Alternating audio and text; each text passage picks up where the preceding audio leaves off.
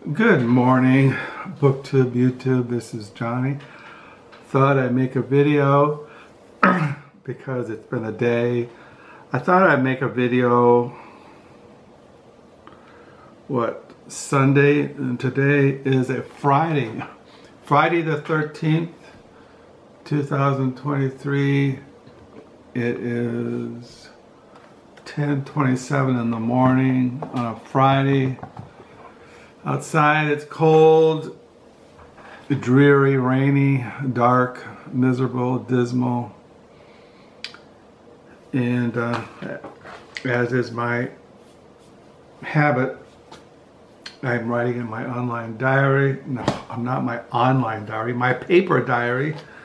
I'm on page 907. Usually I write my online diary in the afternoons But what this video is going to be is talking about, well, I've shown you my thrift store haul the last couple of weeks. I told you I had 30 books. I've, I did 10 and then I did another 10 and this is the last 10 of 30 here. Since we're going to have it, I was going to wait until Sunday, but then that's a new week and tomorrow's a Saturday and then there's a Sunday and then I I supposed to get a book in the mail today. I ordered from Amazon, but I thought what I would do is to show the last 10 books of those 30 used books from thrift stores and Blue Stockings Bookshop. Now, Blue Stockings Bookshop here in Holland, it's primarily used books. So um, I have taken books, Carol and I have taken books over there and got in-store credit. So sometimes I go over there, it's not that far from where we live, maybe 10 minutes. But I don't like to travel in bad weather. And I don't really like to leave the house. I don't mind going around where we live. You know, there are, like I told you, in where we live here in Holland, there's Legacy Thrift Store, just a couple blocks up, and then the, down the street is Action House Thrift Store, and then there's Goodwill Thrift Store. Now, what I mean by thrift store, they sell furniture, they sell clothes, they sell knickknacks, they sell old vinyl records, they sell all kinds of stuff, but they also sell used books. So I, you know, so I just try to look once a week, and I usually find something. And uh, I think there's Legacy, there's Goodwill, there's Action House. And if I go North Holland, then there's Salvation Army. There's another. There's two other Goodwills, and there's uh, Humane Society, which is Animal Rescue thrift store. There are a couple others that I don't really visit that often because I don't really need any more books. So, yeah, and then there's one in Fennville, I just, the warehouse thrift store. Well, it's a warehouse used bookstore. And then there's um, Fennville Library has a room where they show books that they've taken out of circulation, withdrawals. And sometimes we go to Douglas, there's a cat rescue place that's like a thrift store. They sell stuff to support rescuing cats and they have books, but we don't go that far. And sometimes we go to South Haven.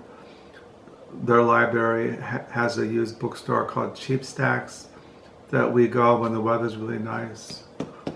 Carol and I. And in South, ha I mean, in Grand Haven, there is a Goodwill and a couple other thrift stores, but we have we don't do that on a regular basis.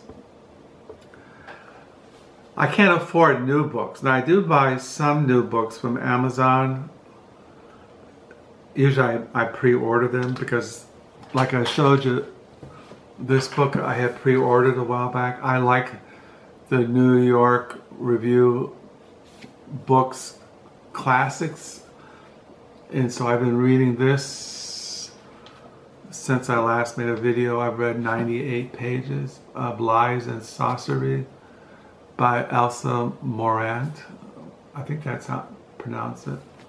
And I, I did tell I did tell you I was going to read for a while the paper, The Life and Death of the New York Herald Tribune by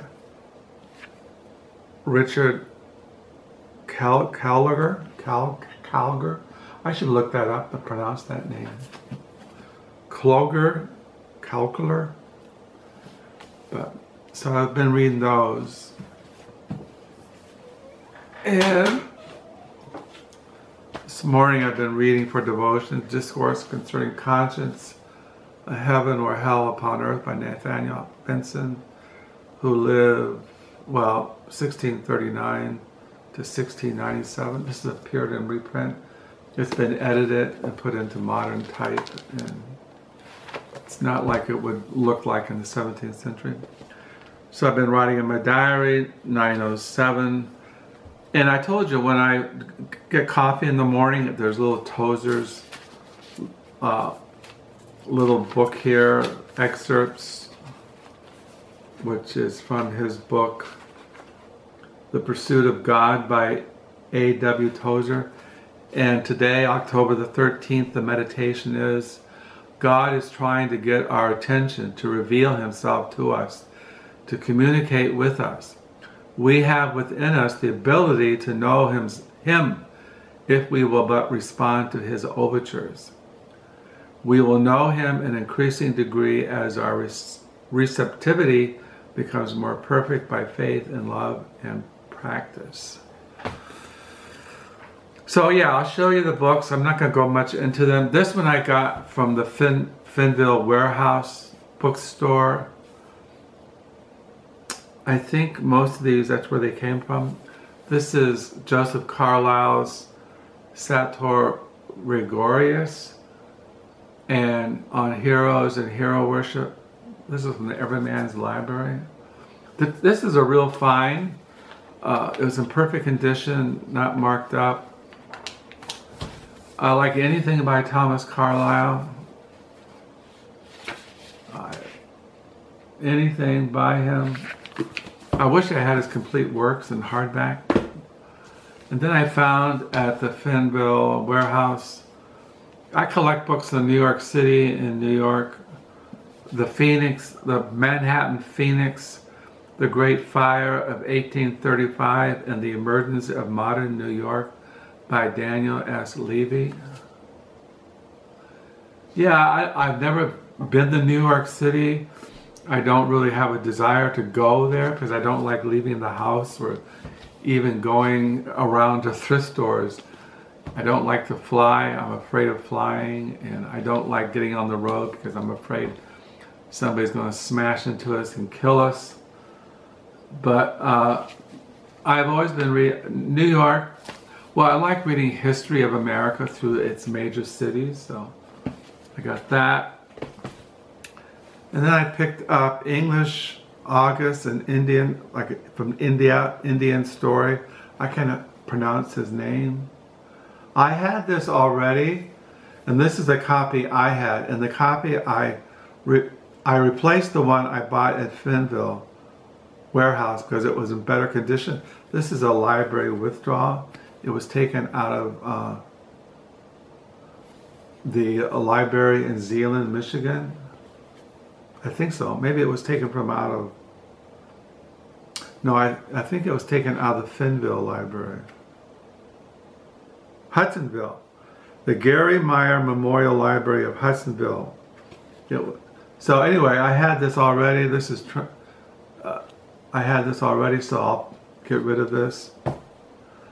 This is also from the Fennville Warehouse used books. Indian Frontier, America, American West, 1846 to 1890 by Robert M. Utley. He's a very famous uh, historian on the West. I have, we have several books by him in our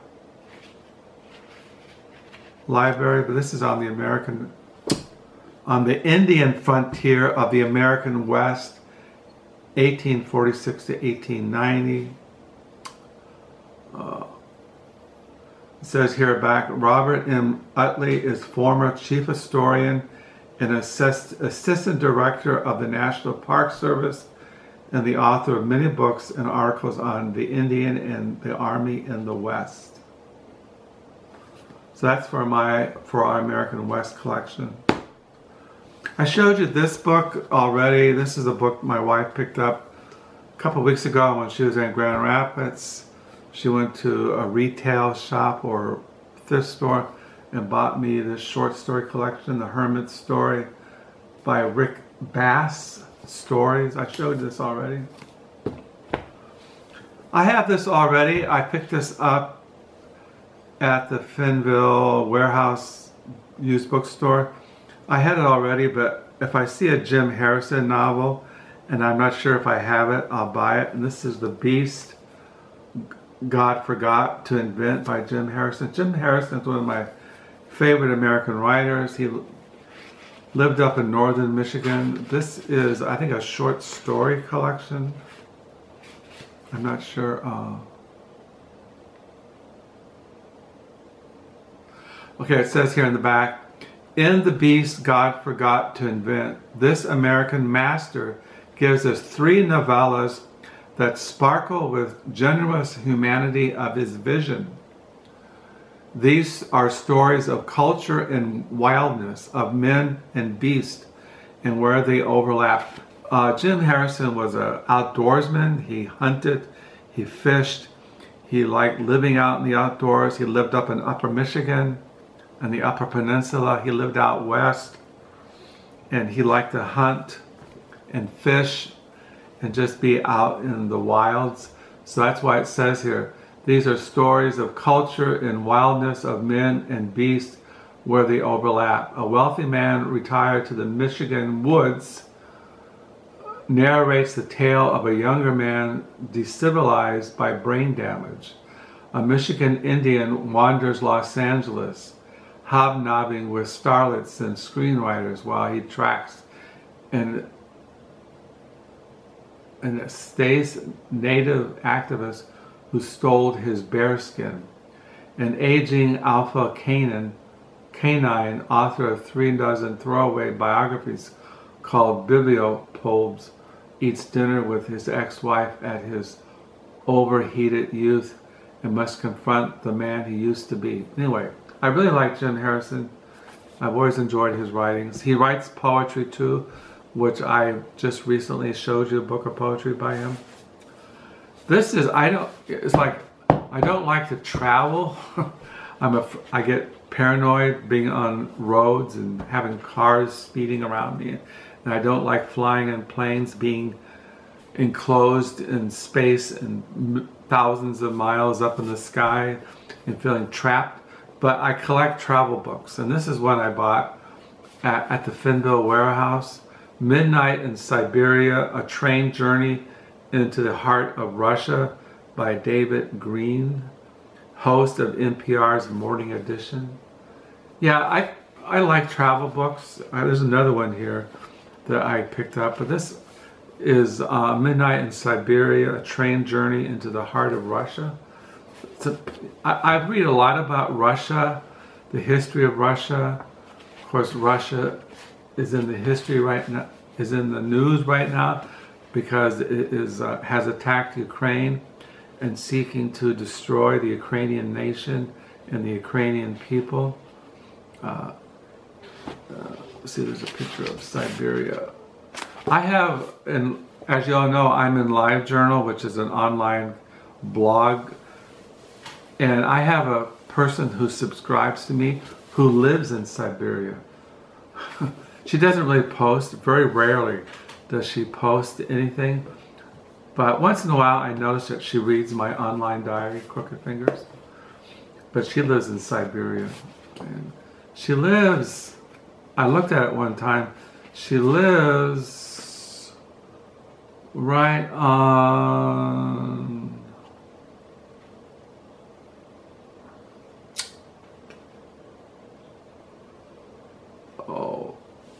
can't remember where she, she lives in Siberia. But I can't remember where. But anyway, she lives in Siberia. And then I picked up a book of essays I found at the Fennville warehouse, uh, the end of the the end of the end of the earth essays by Jonathan Franzen. I I read him. I really enjoy his writings. He's another American writer. I think he has a new book out right now. I think, but I'm not absolutely sure. Yeah, I have all his writings, and I didn't have this book of essays. Uh, the essayist Jonathan Franzen writes is like a firefighter whose job, while everyone else is fleeing the flames of shame, is to run straight into them. For the past 25 years, even as his novels have earned him worldwide acclaim, Franzen has led a second life as a risk-taking essayist. So yeah, these are essays. I like reading essays because you can read them anytime. You can, if you if you kind of burn out from reading a novel or burn out from reading some big clunk chunker on Russian history or something, you can just sit down and read an essay. And I haven't really gotten into this yet, but uh, I like reading essays and I like his writings. And then I picked up, I collect the writings of Margaret Duras, and this is Black Eyes and Black Hair. Little, her novels are always kind of very thin, and I haven't read them, but I saw this at the Fennville warehouse. Uh, so I, I have The Lover by her and something else by her downstairs. This is translated from the French by Barbara Bray. So yeah, it says here in the back, Margaret Marreta, Marreta Duras calls Blue Eyes and Black Hair her first new novel since The Lover. This quote, the story of the largest, most terrifying love of which I have ever written. A young man isolates himself with a woman whose blue eyes and black hair remind him obsessively of a man he has glimpsed once and whom he has fallen desperately in love.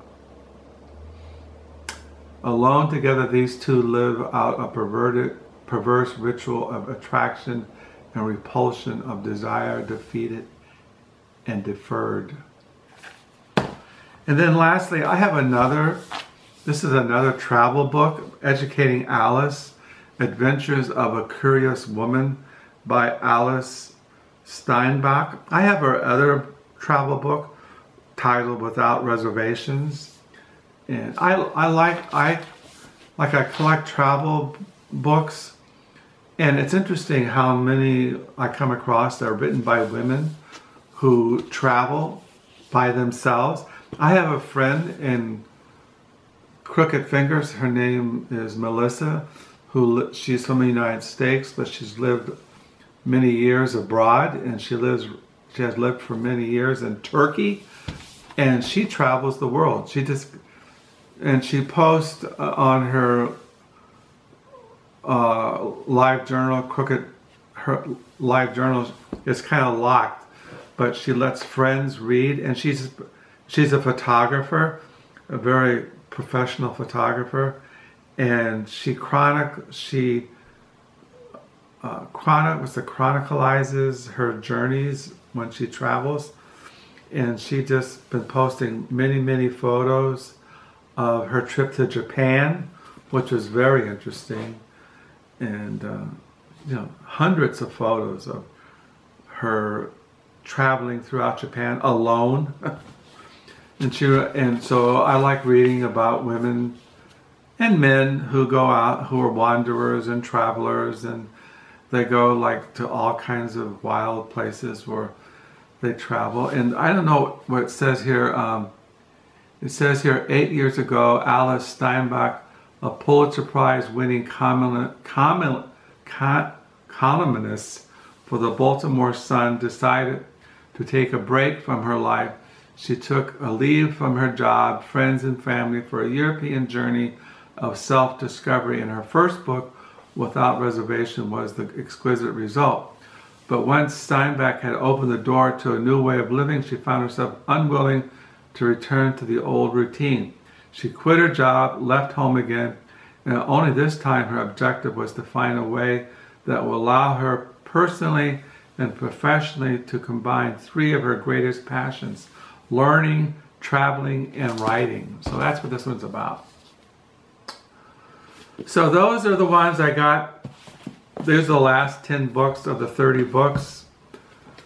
I can put these away down the lower level, find a spot for them. And yeah, so that's what I got.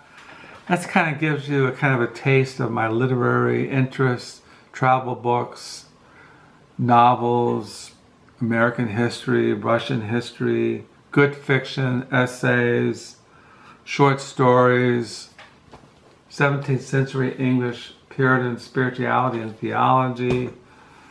Like this is an Italian. This was first published in 1948 in Italian, just been translated fully, unabridged edition. Really enjoying reading this, and reading about American history through the the history of the paper of the New York Herald Tribune. Really enjoying this reading this, the you know, reading about the 1830s and 40s. Uh, really enjoying the paper. So yeah, so I hope you had a good reading week. You have a good weekend, and uh, yeah, I'm writing in my diary, reading, waiting, wondering if this is the end of the world, the second coming of Christ. So I don't really know. All I know is that. Um, uh, I just want to share. I, I tend to drool. I've always had. I've always been a drooler. I'm not. I'm just going to be. I'm a drooler. That's why I'm always rubbing my cheek because I, I forget to swallow and all the saliva builds up in my mouth and I drool. kind of gross, but just gotta be honest. I notice there's all these white spots on my shirt. White spots and it gets into my beard. That's why I'm always pulling my beard because maybe I have a dead spot on the end of my mouth and I just just drools out. Anyway, enough of that personal information, over information, too much information. But yeah, it's been kind of, you know, sometimes when it's kind of embarrassing in the years when you're up there and you're preaching or you're teaching and like at a class where you're up in the pulpit and this drool is falling down out of your mouth and people are watch especially if you're in a Sunday school class and people all around you face to face and they see this drooling coming out of you and then you realize I used to carry a handkerchief with me and then I would just periodically I would wipe my mouth. But yeah well that's what's going on here. Hope you have a good weekend do pray for Ukraine, pray for the Palestinians, pray for the, the Israelis, pray for humanity, pray that the Lord will come quickly. And until next time, bye.